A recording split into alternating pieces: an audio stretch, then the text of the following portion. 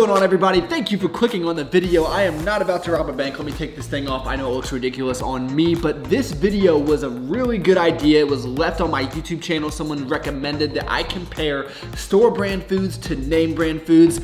So that is what we're going to do today. I appreciate everyone that has already dropped the video a like and subscribe to the channel.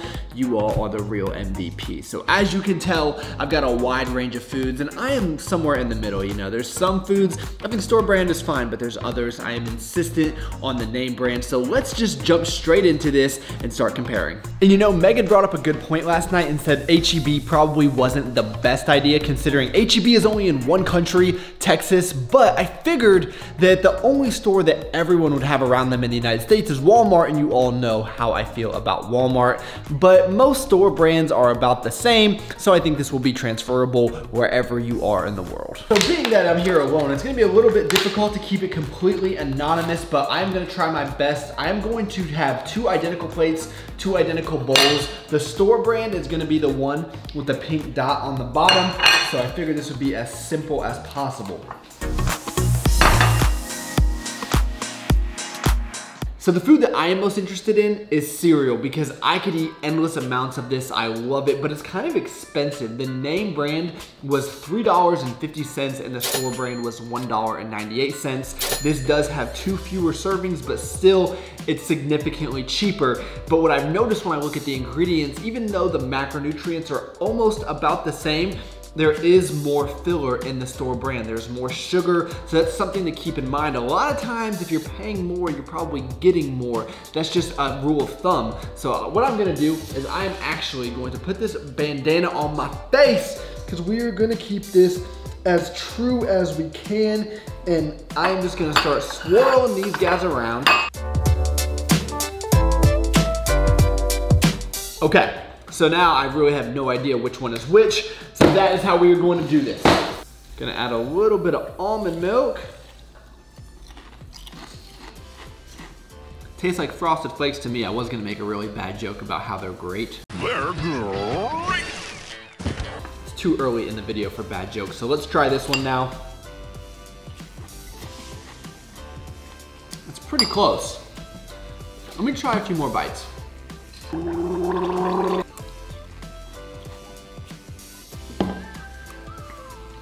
I think I've made a decision. The one that I feel is a little bit better is this one on the left. So, ah, it is the name brand, so you should be able to see. I obviously don't want to flip this around too much, but there's a pink dot on the bottom of this bowl, which indicates it is the store brand. And I could tell, you know, a little bit of a difference. It wasn't significant, but this one just tasted more, I guess, authentic. I don't know what I mean, but this cereal, in my opinion, was better. Jackson,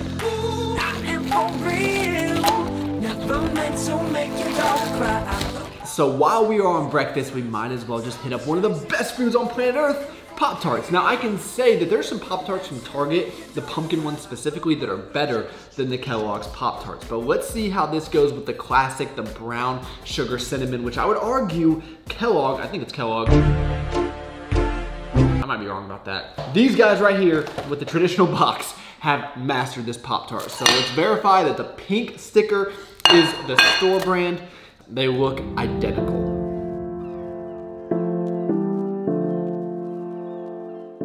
Okay, so I don't know if it'll make you guys feel better if I put the blindfold on when I ate, but that just, it honestly makes me feel a little bit violated, but we're gonna do it anyway just so I can make sure that we're being fair here. So let's give this one on my left a try.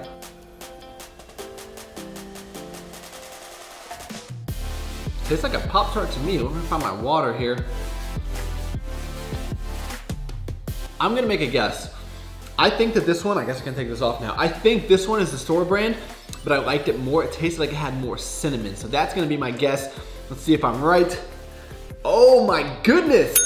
I know my Pop-Tarts. So I've said it about other flavors as well. I'm gonna go store brand when it comes to Pop-Tarts. Okay, I'm gonna move on to something with a little less sugar, help cleanse the palate, you know, and I'm gonna talk about a food I'm very very passionate about rice cakes. I just feel like these should be a staple in everyone's diet. They are so good. So this is a food you can clearly tell a difference just by looking at it. And that's one of the things I love about these is that they hold up very well. But we're just basing this off of taste alone. These were $1.98. These guys right here were $2.50, so a little bit more expensive. And I believe the macronutrients on this are almost identical as well as the ingredients. I just have a vision of one of these plates flying off of the counter and I would be so, so mad. I need to make sure that my bandana is very tight for this one because I can tell just by looking at them which is which. So in traditional lefty fashion, I'm gonna start with the one on the left first, but I'm gonna break a piece off because I can already tell by texture usually. So I think this should be a pretty fair trial.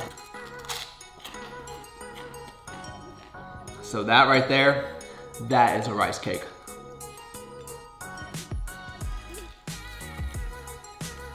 All right, let's give this one a try.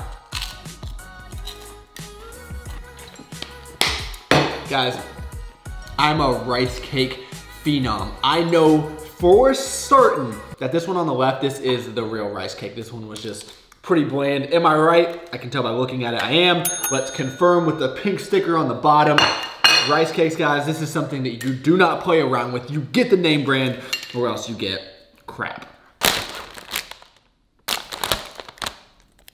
I don't, I don't understand. What, how does that, did I just get trolled? I don't think it, it doesn't have a, I hate to be so biased already, but the fact that the Chips Ahoy has that, I mean, that almost seals the deal. But this one does say made in Texas. And I've never, ever experienced so much pride in my life because I'm from Ohio. You would never see something proudly made in Ohio, but these damn old Texans, come on.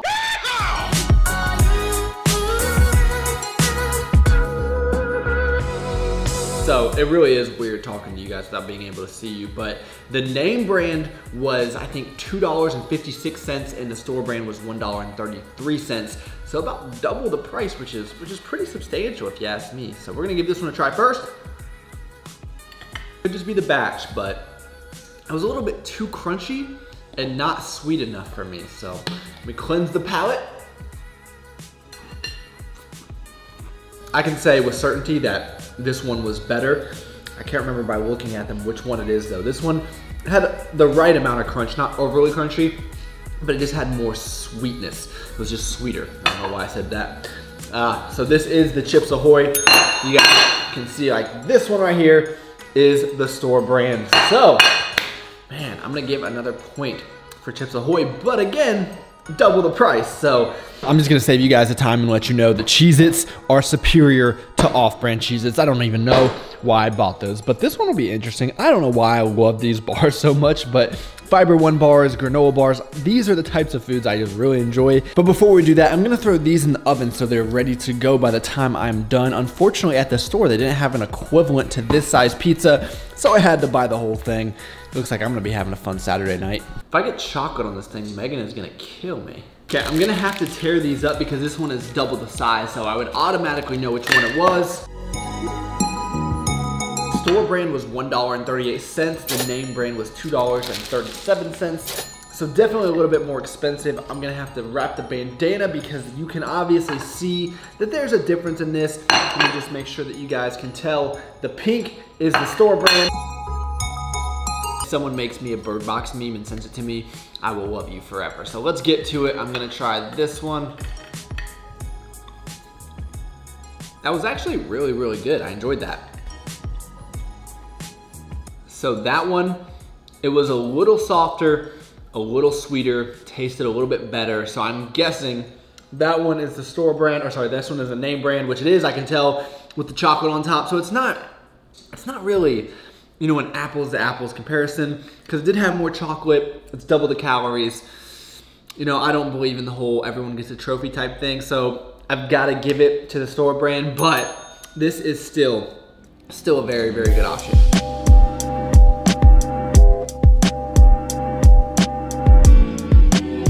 You know what, I'm done with the blindfold. We are just gonna keep the bias out of it, and I'm gonna tell you, this is the DiGiorno's pizza. It looks and smells amazing.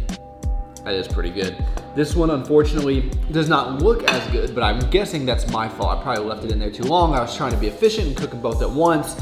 Never a good idea. Looks can be deceiving. That is, that is some good pizza.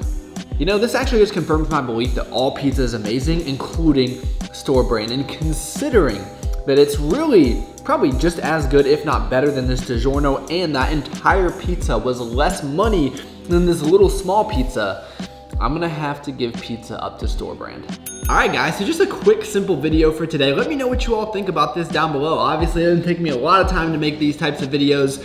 Personally, it's probably not a video that I would wanna watch, but I got a lot of good feedback when that person left a comment and I asked you all what foods I should try, so you guys gave me these suggestions and that is that. So let me know in the comments down below. I wanna know one food that you rely on for store brand and one food that you have that has to be name brand. Let, let me know. And if you guys disagree with any of my opinions, obviously I wanna know that as well. The internet was only made so you can disagree with other people. I don't know if you guys knew that or not, but thank you all so much for taking the time out of your day to watch.